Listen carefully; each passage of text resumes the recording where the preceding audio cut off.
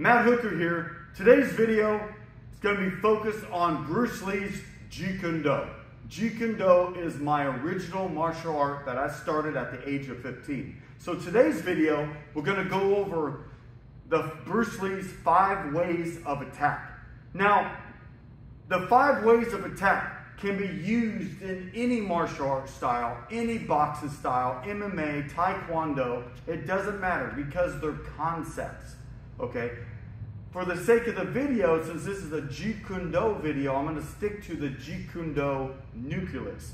You know, the tools and techniques that Bruce Lee used for his own Jeet Kune Do that he written about in the his many books. Okay? Like Bruce Lee fighting methods and all the above. Okay, so let's go over the five ways of attack starting right now. Five ways of attack. Number one is going to be simple angular attack or simple angle attack. Or another variation of it, you see it written in several different ways in Bruce Lee's writings. He would say simple angle attack or he would use simple direct attack. Kind of the same concept. If the angle, I'm kind of angling in. If it's more direct, it's going straight in. Okay, but they really mean the same thing. Okay, so when Daniel's in his fighting stance, all right, remember, this is Jeet Kune Do now. I'm using the Jeet Kune Do nucleus. Okay, Bruce Lee has a nucleus of what you know, tools that you need to learn for Jeet Kune Do. So that means I'm going to be strong side forward, okay? Since I'm right-handed, my right hand's going to be forward. All right, I'm going to be in my fighting stance. All right, remember making sure my rear heel is up. All right, having that good medium bend in the knees. I'm here in the gun. I call it the gun side position. That's where we're going to start. Okay, so a simple angular attack is, for instance, we're going to use the main offensive weapon in Jeet Kune Do, which is that straight lead punch. Okay, so if I drive in, if I step in or explode into my opponent with a, with a single punch, poof, like that, that's a simple direct attack. Okay? If I step in with a back fist, that's a simple angular attack or simple direct attack. However, you don't want to make it too complicated. Okay? If, I, if I'm a little farther out and he's in a stance and I step in with a side kick to the knee, that's a simple direct attack or simple angular attack. Okay? So anytime I just step in and kick him, or step in and punch him, whether it's a finger jab, a palm strike, whatever, or if I just drive in for a double leg takedown. That's a simple angular attack or simple direct attack.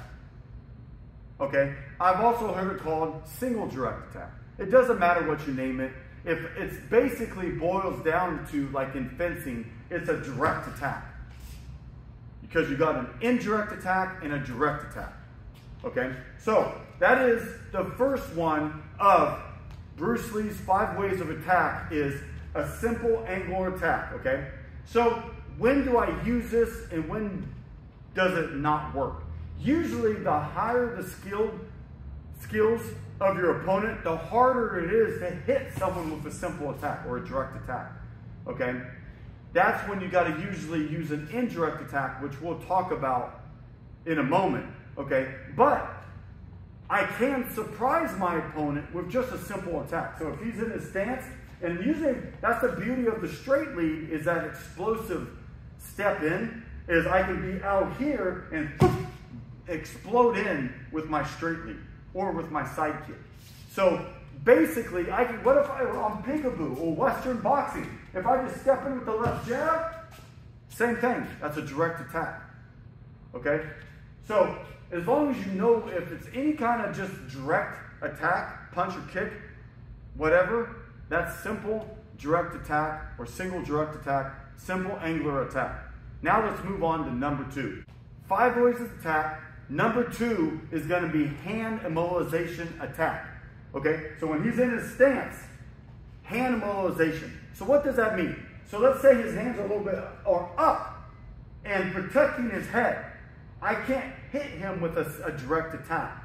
You know, I might, you know, he's got his hands in. There's something obstructing my target. Okay, so that's when I'm going to use a hand immobilization attack. Okay, so this is based off what your opponent gives you. Okay, if it's a hand immobilization attack, I'm going to somehow manipulate attack, manipulate his arms to clear a line of attack so I can hit him. Okay? A lot of times, you know, it could be as like a slap, a slap block. It could be a grab. Okay? It could be anything. It could be my forearm. I'm using a part of my body to, to move his arms out of the way, okay, or secure and mobilize his arms so I can hit him. It's that simple. You know, at the end of the day, I'd rather just step in and hit him with a direct attack. There's more power. Okay? Anytime I have to manipulate his arms, it's going to take some of the body movement out of my power. I mean, the power out of my attack. Okay? So, I'll give you some examples of hand immobilization attack. So, based off right there, okay, so if he's in this type of stance, that's the gun sight stance in Jeet Kune Do, or the Bai Jong. Okay? If it's here, I can move, I can attack this arm with some type of parry or grab to move it and then hit. So, for example, instead of me just hitting them with the straight lead, I'm going to use my inside parry with my left hand and trap, kind of grab, trap that arm, and then hit him. So now I mobilize that arm. And then from there, I can enter in with my combinations. Okay? Let's say his hands are high. Okay? Use if he's like a high guard, what I can do is the same concept, but instead of coming with the straight because this is covered, it's going to be hard for me to get this out of the way. Is I can immobilize his arm and then hit him with that lead shovel hook. Okay? Or I can use that lead arm to immobilize his arm and hit him with the rear body hook. Okay? Or if I can reach in and grab this with my lead arm, pull it down, and hit him with the cross. Okay? So you can see that these are concepts. You know, the only way you're going to get good at these is you got to play with them in sparring. Everything you teach with Kune anything, you have to spar and you have to find out what works against different opponents. This, if he's got a high guard and I can't be doing stuff like this, he's protected. Okay, so I got to get more creative. Okay, maybe I'll reach in and pull this down and then, then hit. Okay, so the, you know, the sky's the limit with the imagination that you can put into these different type of hand mobilization attacks. Okay, so just a quick review. Come here a little bit. So quick review. A hand immobilization is I'm to remove or mobilize one of his guarding hands to clear a line to attack. Okay, Vasily Lomachenko, perfect example of hand immobilization attacks. Because when he's here, he'll pull one of these arms down and hit. Or if he's up again, he'll reach out, pull the arm down, and hit. Perfect example of hand immobilization attack. Everybody thinks that hand immobilization attack is based out of Wing Chun, which are some concepts from like the slap block the lock style, different grabbing techniques that you can use out of the Wing Chun. Okay? But this ain't reality. Okay? This is reality. We're here. We're fighting. We're working a straight lead. And then let's say I come in and immobilize it and hit it with the palm strike. Okay? Then maybe I can pull into an elbow. Okay? You always got to train as if you're you're training against someone who's got good hands, a good boxer. Okay? Because a lot of the stuff works when you're training against other Jeet Kune Do men, but when you spar someone with a different style, it doesn't work. Why? Because you're not used to it. That's why I highly suggest that you have make friends, make buddies in different gyms, you know, whatever. If you just train with Jeet Kune Do guys all the time, you're not going to know what it's like to face a boxer. Okay? You're not going to know what it's like to face someone who does Muay Thai or Jiu Jitsu or wrestling. Okay? So you gotta you gotta get all types of sparring against different opponents and find out what works. If it doesn't work, you crumble it up and throw it away, discard it. Okay, so now let's move on to no. Oh wait, real quick, real quick, I about forgot. Hand immobilization is not the only thing you can immobilize. You can immobilize the leg or the head. So he's in the stance. Remember this classic dirty boxing technique. If I step in with the straight lead or jab and I step on his lead foot, boom, and he tries to pull back, you know, That's a foot or leg immobilization attack. Okay? If I come in and I get my leg inside his leg, nope, just get your stance, and I buckle him, push it down, or I pull his leg out, that's a leg immobilization attack. What I do in kickboxing, he's in his stance. A lot of times I'll throw my hand up when I'm sparring, and I'll step in and just sweep, try to sweep that leg out, just to disrupt their balance. Not to take him down. Sometimes I can. Okay? So that's a leg immobilization attack. Remember, get creative. All right, what if I do that oblique kick? A oblique kick, and then I drive down and buckle. That's a leg immobilization attack. Okay? Or I got a head immobilization attack. One of my favorites is going into the clinch is like your necktie positions. Okay, now I'm kind of dipping into other martial arts other than Jeet Kune Do. But I can pull those concepts and techniques into my own personal Jeet Kune Do. Okay, that's more Muay Thai when you get into the neckties. Let's say I come in, you know, and I throw a jab and I step in and I palm strike him as I, I mobilize his arm. But then I hook his head and I get him in that necktie position and start hitting him, hitting him, pulling in the knees. That's a head immobilization. You know, what if I get here in his self-defense and he has longer hair and I grab the back of his hair, headbutt him? Okay? That's a hand, I mean a head immobilization attack. Okay? So keep that in mind. You don't only got the hand immobilization, you got the leg immobilization, and then you got the head. Okay? If I go in and grab his leg and pull him into a single leg takedown, technically that's a leg immobilization attack. Okay? So now let's move on to number three. Five ways to attack. Number three, is going to be progressive indirect attack. When we talked about the first one, which was your simple angular attack, I, I noted that it's a direct attack. So you got a direct attack where he's in his stance, and I just step in and hit him with a punch or kick. Okay? Now, an indirect attack, or a progressive indirect attack, is I'm going to start on one line and then enter in on a second line. So this is where you can use your fakes or your feints. Okay, I'm gonna feint one line and then attack another line. Let me give you some classic examples. So he's in his stance.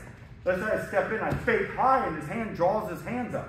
Fake high, then go low. Okay? Or I can fake low and go high.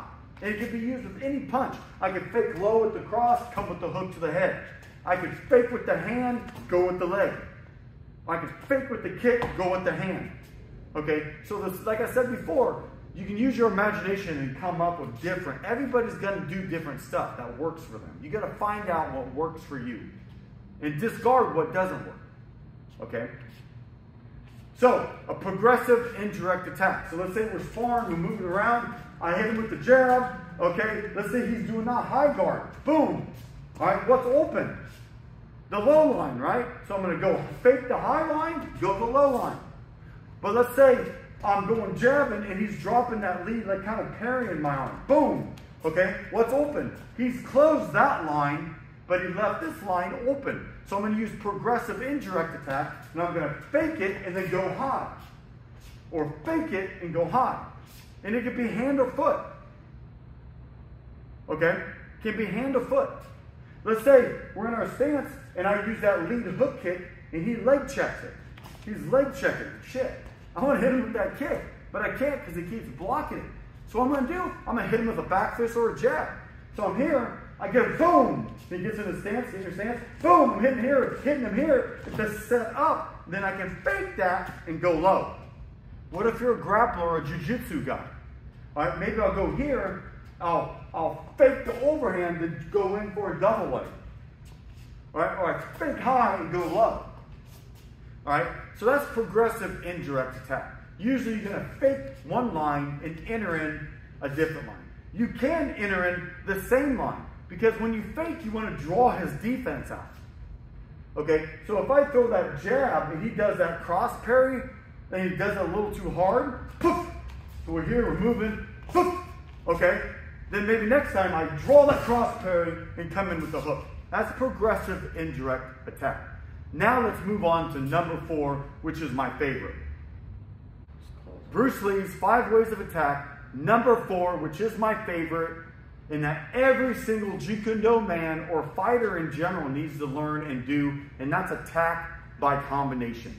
Okay, attack by combination. So when we're sparring or you're fighting, whatever, competing, he's in the stance. Okay, if I can hit him with a single angle attack, that's good, right? Maybe I counter punch him. Maybe I stop hit him. Maybe I get him for a good kick. I could stop the fight. But most likely, people are tougher than that. It takes more than one punch, one kick to stop someone. Okay?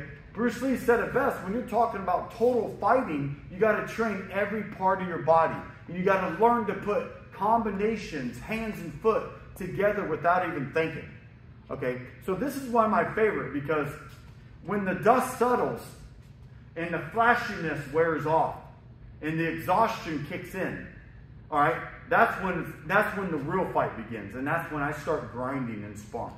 Okay, if you ever spar me, if I see you get tired, I start grinding. I call it Hell's Kitchen. What does that mean? I start using attack by combination. Okay, because when you're first beginning in sparring or fighting, when you're out here, you're you're afraid. You're afraid of getting hit. You don't know what's going on. I don't know how strong he is. I don't know how hard he hits, how fast he is, how tough he is. I don't know what's going on, so I'm going to pick and choose wisely what I attack him with. Okay, hand or foot. Okay, but once I get get going and feel it out, I can start. If I start touching him with my jabs, my kicks, and I start hitting them with my counter punches, my stop hits, maybe he gets tired, maybe he gets hurt.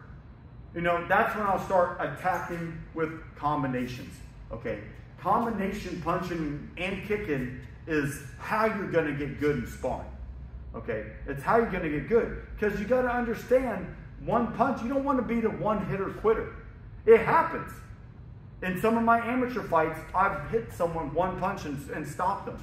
It happens. Usually it comes out of nowhere. Okay? But usually what wins fights is the person that can put good combinations together. Okay, good combination. Why hit someone once when you can hit them four times? Okay, why try to? A lot of people, the common mistake of the beginner is they load up those one shots, those one hitter quitters, instead of learning to be smooth and fast and putting combinations together. So, attack by combination is basically the backbone of fighting. All right, it's getting aggressive, putting those combinations together. So let me give you an example. All right, he throws that jab, and I stop hit him. I parry and straight lead him at the same time. What's better? He moves around, he throws that jab, and I whoop, hit him. What now? Is that that's good, right? But is this better? He does it again. Whoop, whoop, whoop, whoop. What, what do you think's more effective? Or he does it again, and I go boom, kick, whoop, whoop, and then step in with my hand combinations. That's what you want to try to achieve. The highest level of an elite fighter or Jeet Do man or woman, right, is to be able to counter punch or stop punch your opponent in combination. All right? So instead of me just here, you know, pot pot shotting him, okay, I'm going to be here and then hitting him when he throws his jab. Let's say I counter him and then I put combinations together. Okay? Put combinations together. Okay? So not only are you using it offensively, so let's say I use a indirect attack, I fake low, go high, instead of throwing one, I'm gonna throw two. And then add a kick. Okay? A good rule of thumb is this is gonna sound mind trippy. All right? Always end your punch combinations with a kick. And here's the other side. Always end your kick combinations with a punch. Right? It's just a concept, but what that teaches you is to keep moving and to punch and kick in combination. Okay? I see people all the time sparring. They're here. One shot. Okay? One shot. One shot. Okay, maybe they throw that head kick. One shot. One shot. Okay? Against a good Jeet Kune Do man or a good skilled fighter or a boxer, one punch, one kick ain't to do it. You got to start. You got to start.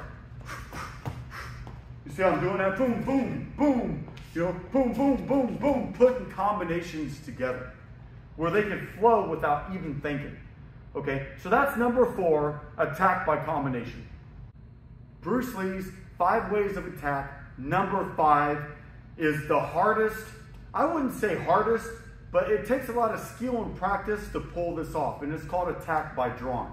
Okay, attack by drawing. So when he's in the stance, and then just for the sake, because this is a Kune video, I'm going to have him in a Jeet Kune Do stance. But he can be in a left stance, whatever, any kind of stance. Okay, so just a quick review on the first four. You know, simple angle attack. As I come in at an angle, I can shoot at the slant, the slanting right, straight lead, whatever. Or simple direct attack, single direct attack. There's various names in Bruce Lee's writings, what he calls it. But it's the same. I'm going to attack with the hand or the foot. Okay? Second, second one is hand immobilization attack. I'm going to remove or mobilize the hand to open a line to hit them. And it could be with the head or with the leg. Okay? The third one is progressive indirect attack. That means I'm trying to draw his defense up. I'm going to fake a high line and go low. Or fake a low line, go home. Um, high. You get the point. Okay? I'm going to try to fake one way and go the other. Hand or foot. Okay? Number four, my favorite, attack by combination. Okay? Because you just don't even know what it's like. When you fight someone that throw in combinations, it's extremely hard. Okay, extreme, extremely hard to deal with them. But if they're just pot shotting onesies and twosies, that's easy. Okay, so number five is attack by drawing. And a lot of times, this is based on your stance, what you do with your fighting stance. So you can change your fighting stance or manipulate it in a way, especially your arms, to to show your opponent an opening on you. Let me give you an example. So if I'm in the gun sight, Jeet Kune Do stance, and then I drop it, this is what I call the gunslinger, right? I lower this hand. So what this, if he's used to seeing my hand up, dealing with my hand out here, then I drop it. He's like, oh, there's an opening. So then he's going to step in with that, that, uh, that cross usually. He's going to try to hit me with that cross because I'm open. But what I'm doing is I'm setting traps. So, in essence, attack by drawing is you're setting a trap or baiting a trap. So, when I'm here in the gun sight and I drop it and he throws that and I do a stop hit, hit him, or he throws it again and I hook over the top with a, with a stop hit or a counter punch, I basically set the trap. I baited him in. Another example, let's say I'm in the gun sight stance and I take it to the high guard. I do this a lot. This is one of my favorites. I'll transfer from the gun sight to like a high guard. You see how I'm more here to here. What does a high guard do? It draws his punches high. Okay? So when my hands are here, he thinks I'm easier to hit. So he's hitting me, hitting me with punches. He's right. I am easier to hit. I'm right here. But what I use it for is I get him punching on my arms, and then I do what I call pull count. So he's hitting with the jab, jab, hit me with the jab, and I pull and then hit. You see, Canelo does this all the time. He'll step in at that high guard, draw your punches, and then use head movement and counter punch. Another thing that the high guard can do is, is if you have your forearms up, they're going to try to go to your body, which is good. That's what I want. As long as you plan for it and set the trap, bait the trap. So he's in his stance, and I'm in the gun sight. Right, back up a little bit. There you go, bud. I'm right here, and I go like this, and he tries to go that body jab now, and I step in and I intercept him. Or he does it again, boom. Or he does it again, boom. I can hit him. Or he does it again, you know, I can I can parry and throw a kick. Okay, it doesn't matter. Whatever you want to do is the concept of it. So that's attack by drawing. Okay, so Maybe I go on here. Maybe I get my hand out. What's this going to make him do? He's probably going to try to kick me. And then he goes for a kick, and I step in and counterpunch him or stop him. So, just a quick review. I know this is a long video. Number one, simple angular attack or single direct attack, however you want to call it. Number two is hand immobilization, head immobilization, hair immobilization, or leg immobilization attack. Okay, number three is going to be progressive indirect attack. Fake one line, go on another. Okay, number four is going to be attack by combination. Okay, putting your hands and feet together in combination. And number five, the final one, is going to be attack by drawing, or what I call setting traps, baiting the trap. Okay, that is it. I hope you learned something. Have a good day.